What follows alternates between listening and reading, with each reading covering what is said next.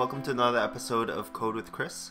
In the last Xcode episode, we talked about uh, adding files to your Xcode project. In this one, we're going to talk about groups versus folder references. So let's get started. So we're going to be talking about groups versus folder references in this video. And we're going to be using the same Xcode project as we did in the last video for adding files to your Xcode project. So you can either download this project in the link below or click the annotation on the screen to download the Xcode project.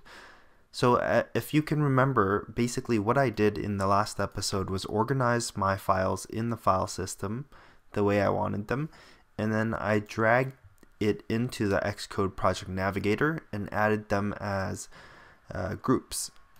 So if you can remember what I told you, these are individual file references. Each file in this project navigator is pointing, is referencing the file on the local file system, regardless of where I move this guy in the project navigator. So for example, with this view controller group and these files, if I were to go on the file system and I were to, let's say, rename my file or even delete my file, if I go back to Xcode, it would show that as a broken reference because it can't find that file. Now let me show you what happens with uh, a folder reference. So let me drag view controllers in again, but this time I'm going to include it as a, a folder reference. So it shows up in blue. Now if I rename it back, it fixes this but also notice that for the folder reference, it kind of reflects what's in the file system. So let me let me show you that again. So if I go to viewcontroller.h and I add you know some numbers below it, in Xcode Project Navigator, this file reference would be broken. But however, if I added the whole folder as a folder reference, it just takes whatever is in that folder and includes it in your project. Let me rename that back. Now just from the very fact that a folder reference includes all of these files in that folder into your Xcode project, that doesn't give you as fine-grained control as a group would because these are individual file references. So I can right click an individual file and I can choose to delete the reference and I would delete the reference uh, in the Xcode project, but that file would still exist in my file system. With folder references, you can't do that because uh, you either include everything in that folder or you delete it off of the file system in that folder because it, it just picks up everything in that folder. And that also goes with target membership. So if you're creating an application with a single target, which is most of the time, then I guess it's not that big of a drawback for you.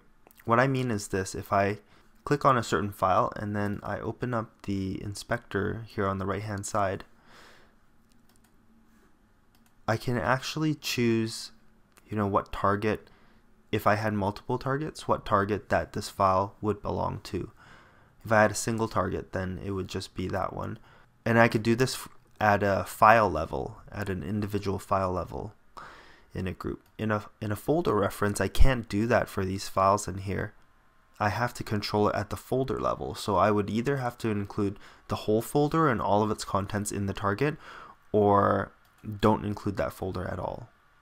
Another thing I forgot to mention is that with a folder reference, uh, don't think that you can drag files around in here and have it reflect on the file system if that was your goal. Uh, it doesn't. So it, it's kind of like a read-only thing where uh, if I try to drag this out, it's going to ask me if I want to make a copy of it or make a reference to it. And let's say I do that, it's just going to create a reference outside of it, but it's not going to change what's on my file system in this folder. So should you use folder references or should you use groups in your Xcode project?